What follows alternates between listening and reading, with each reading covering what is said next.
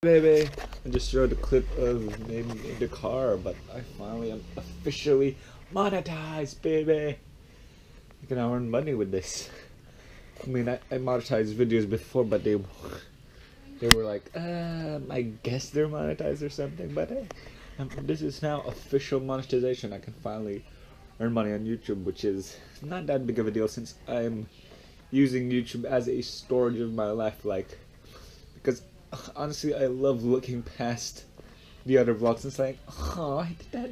Well, I did that. It's like a nice time capsule, like I said many times. And it's gonna be fun since it's pretty much. Um, I'm just doing this for the fun of it, even though sometimes I feel forced. So, yeah. That's gonna be it for today. Officially monetized. Hopefully, I actually earn a dollar or so. Um, but I doubt it. But hey, there's nothing wrong with it. So yeah, see you guys tomorrow.